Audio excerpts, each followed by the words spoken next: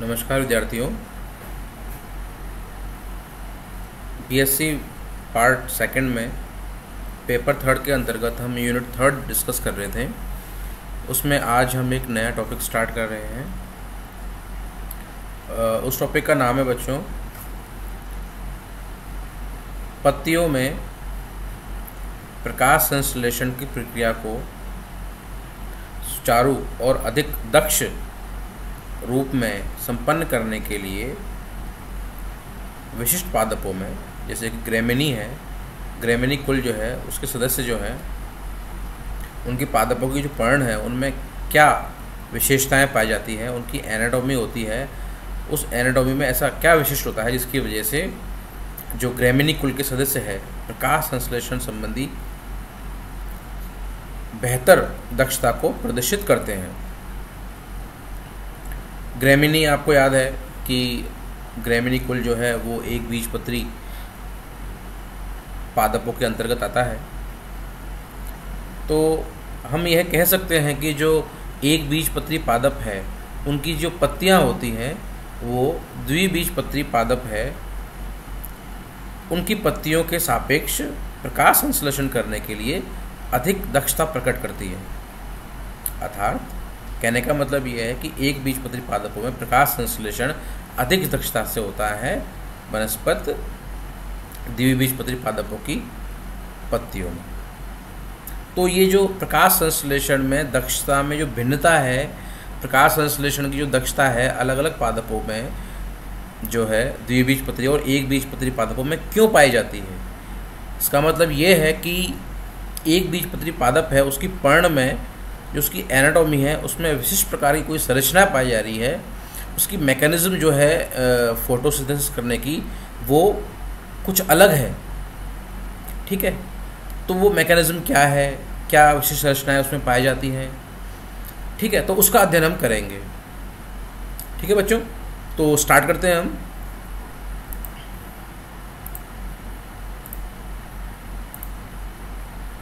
Screen share किए मैंने आपके लिए।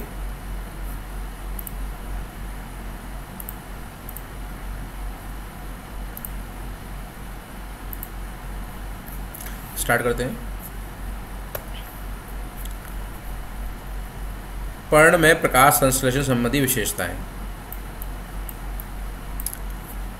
बच्चों, एक बात मैं यहाँ पर स्पष्ट कर देना चाहता हूँ कि जिन विद्यार्थियों को लगता है कि मैं थोड़ा धीरे बोल रहा हूँ तो वो जो है, वीडियो को फास्ट फॉरवर्ड 1.25 या 1.50 करके जो है, उसको, उसकी स्पीड को जो है, तेज़ कर सकते हैं। मैं धीरे धीरे इसलिए बोल रहा हूँ, ताकि जो है, आसानी से सब बच्चों को समझ में आ जाए। इसके अलावा अगर आपको जो स्लाइड्स वगैरह है, उनको देखने में कुछ इशू हो रहा है तो यूट्यूब पर जाकर यूट्यूब में सेटिंग्स में जाकर आप अपनी जो है क्वालिटी है वीडियो को, उसको चेंज कर सकते हैं। इसको 480 पे कर लीजिएगा आप, ठीक है? तो आपको दिखेंगे। स्टार्ट करते हैं तो पर्ण में प्रकाश संश्लेषण संबंधी विशेषताएँ। बहुत छोटा टॉपिक है, लेकिन इम्पोर्टेंट है। पर्ण में जो पर्ण का प्रमुख कार्य होता है, वो प्रकाश, संश्लेषी वर्णकों की उपस्थिति के कारण प्रकाश, संश्लेषण संपन्न करना होता है। आपको याद है, पत्तियाँ हैं, उसमें प्रकाश, संश्लेषण वर्णक होते हैं, जैसे क्लोरोफिल वगैरह। तो उनकी उपस्थिति होने पर जो पर्ण है, प्रकाश संश्लेषण की प्रक्रिया दर्शाती है और आसान शब्दों में हम कहें तो पत्तियाँ स्वयं और अपने पादप के जो अन्य भाग है, उनके लिए भोजन का निर्माण करती है, आसान शब्दों में। अब देखिए, जो पर्ण होती हैं, उसकी संरचना हमने देखी थी बच्चों, उसमें एपिडर्मिस पाई जा रही थी म्यूजोफिल सेल्स पाई जा रही थी, ठीक है बंडल्स वेस्कुलर बंडल्स वगैरह पाए जाते हैं तो आपने पढ़ा। अब देखिए, इसमें जो मिजोफिल्स पर्ण है, उसमें मिजोफिल सेल्स हो रही है, पाई जा रही है, हरित लवक पाए जा रहे हैं, ठीक? अब, जब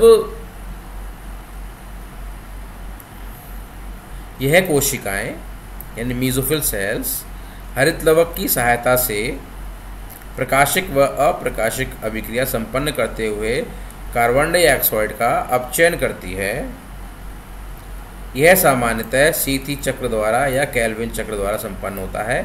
यह सी थ्री प्लांट्स कहलाते हैं। देखिए, मेरी बात सुनिए। मीजोफिल सेल्स ठीक है, कोशिकाएँ हैं। कोशिकाओं के अंदर हरित लवक होगा।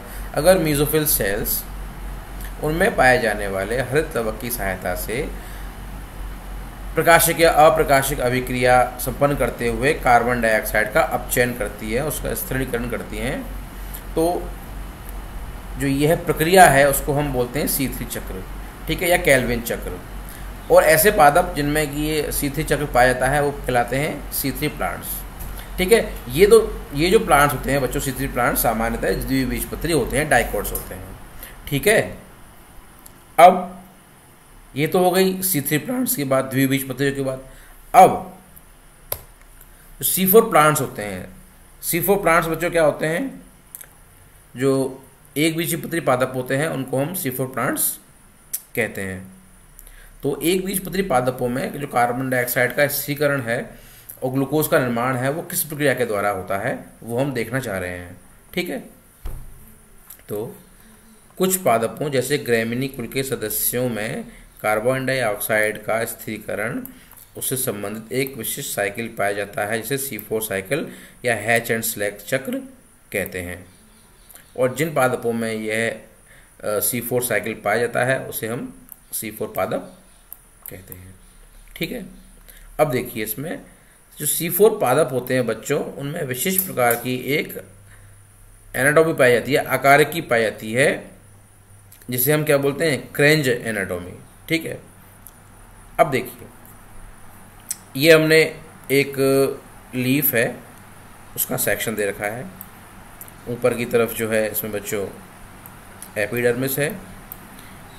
अपर एपिडर्मिस नीचे की तरफ़ लोअर एपिडर्मिस बीच का भाग जो है मीजोफिल सेल्स का बना हुआ है और मध्य भाग में वेस्कुलर बंडल है।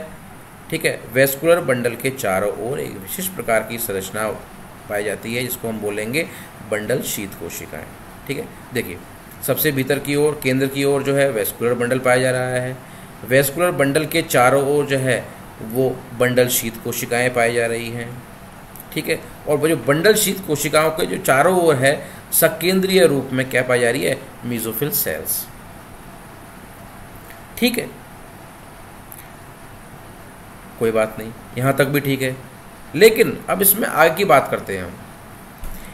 जो सीफोर प्लांट्स होते हैं या एक बीज पत्ते जो पादप होते हैं बच्चों, उनमें जो क्लोरोप्लास्ट होता है ना, हरित लवक हरित लवक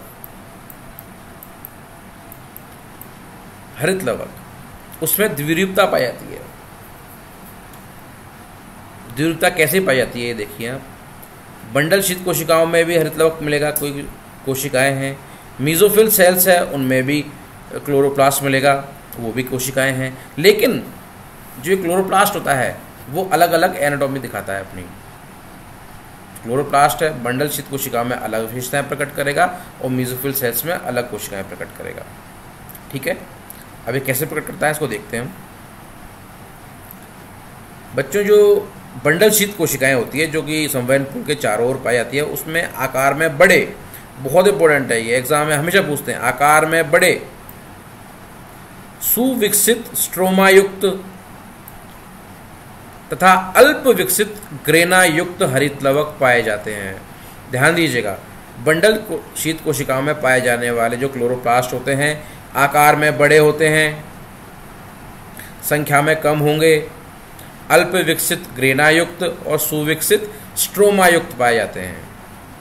ध्यान दीजिएगा, ठीक? ओके, जबकि, इसको हम बाद में पढ़ेंगे, जबकि जो मीजोफिल सेल्स है बच्चों, उसमें पाए जाने वाले जो क्लोरोप्लास्ट हैं, वो आकार में छोटे हैं, देखिए, आकार में छोटे हैं। संख्या में अधिक, देखिए, संख्या में अधिक सुविकसित ग्रेनायुक्त तथा अल्प विकसित स्ट्रोमायुक्त हरितवक पाए जाते हैं। तो हो गई ये डायमॉर्फिक कंडीशन।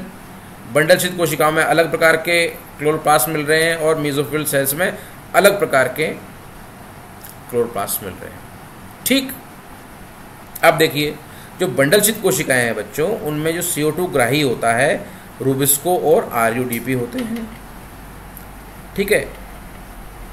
रूबिस्को और आर यू डी पी के द्वारा जो है सी का फिक्सेशन होता है और ग्लूकोज का निर्माण होता है। यह सीथी चक्र हो गया। अब, जो मीजोफिल सेल्स है बच्चों उसमें सी ग्राही होता है पीईपी e और पीईपी कार्बोक्सिलेज फास्फोइनोल पायरोवेट है ना? और फास्फोइनोल पायरोवेट कार्बोक्सिलेज इनमें होगा सीथी चक्र। कहने का मतलब ये है बच्चों, ध्यान दीजिएगा, बंडल शीत कोशिकाओं में पाया जाएगा, ये अंदर है बंडल शीत, इसमें पाया जाएगा सी थ्री और जो मीजोफिल सेल्स है उनमें पाया जाएगा सी फोर साइकिल अब इसमें ध्यान दीजिएगा कि पत्ती में एक बार में ही दो दो जगह जो है आ, कार्बन का CO2 का स्थिरीकरण या फिक्सेशन होता है। अब ध्यान दीजिएगा जो द्विबीजपत्री पादप होते हैं बच्चों उसमें एक बार में केवल एक ही कार्बन डाइऑक्साइड का स्थिरीकरण होगा। लेकिन जो जो सी फोर प्लांट्स होते हैं, उसमें दो दो बार। एक तो सी थ्री साइकिल के माध्यम से और एक बार एक सी फोर साइकिल के माध्यम से कार्बन डाइऑक्साइड का स्थिरीकरण पाया जाता है। तो स्पष्ट है, जितनी ज़्यादा कार्बन डाइऑक्साइड का अपचयन होगा और ग्लूकोज का निर्माण होगा तो हम ये मानेंगे कि जो है प्रकाश संश्लेषण की जो दक्षता है, वो उसमें ज़्यादा है। ठीक है? तो इसलिए हम कहते हैं कि जो सी फोर प्लांट्स होते हैं, उसमें प्रकाश संश्लेषण की दक्षता सी थ्री प्लांट्स की बजाय अधिक होती है। बच्चों, समझ में आ गया ये? इस वीडियो को आप दोबारा देखिएगा, तब आपको और ढंग से क्लियर होगा। ये एग्ज़ाम में कई बार, जो स्लाइड बता रहा हूँ मैं आपसे, आपको जो शेयर कर रखी है, कम से कम भी दस प्रकार के प्रश्न आसानी से ऑब्जेक्टिव टाइप के इससे बनते हैं। और आपकी जो विश्वविद्यालय परीक्षाएँ उसमें भी कंफर्म है हंड्रेड परसेंट है कि इसका प्रश्न किसी न किसी रूप में आपसे पूछा जाएगा। ठीक बच्चों, अब लास्ट देखिए, इस प्रकार यह है सीफोर पादप अधिक दक्ष होते हैं। हमने पढ़ लिया, समझ लिया। इसी प्रकार मासल मुर्दबुत पादपों में भी रात्रीय सक्रिय रंध्र पाए जाते हैं। इनमें क्रेसुलेशियन अम्ल उपापचय संपन्न होता है। ठीक है। कोई महत्वपूर्ण नहीं है ये। इस संदर्भ में महत्वपूर्ण नहीं है। ये हम बीएससी फाइनल ईयर में इसको विस्तार से पढ़ेंगे। ठीक है बच्चों? तो धन्यवाद। आपकी कोई भी क्वेरी हो, ठीक है? कोई टॉपिक समझ में नहीं आ रहा हो तो आप इस मोबाइल नंबर है मेरा, ये मोबाइल नंबर है इस पर आप व्हाट्सएप या मैसेज कर सकते हैं, और ये मेरी मेल आईडी है। इसमें आप मेरे को मेल कर सकते हो। कोई भी समस्या हो तो उसका मैं समाधान करने का प्रयास करूँगा। ठीक है बच्चों? तो ये क्रेंज प्रकार की एनाटोमी पाई जाती है सी फोर प्लांट्स में हरित लवक में, द्विरूपता के रूप में पाई जाती है।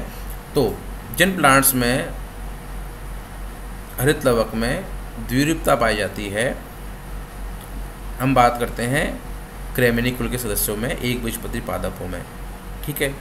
तो क्रेंज प्रकार की जो एनाटोमी पाई जा रही है, उसकी सहायता से हमने ये देखा इस लेक्चर के द्वारा कि प्रकाश संश्लेषण की जो दक्षता है, उसमें वृद्धि होती है। ठीक है बच्चों? इस टॉपिक से संबंधित आपको कोई भी समस्या हो तो आप, मैंने आपको अपना मोबाइल नंबर दिया है स्लाइड में तो आप मुझसे पूछ सकते हैं। ठीक है? वीडियो देखने के लिए धन्यवाद।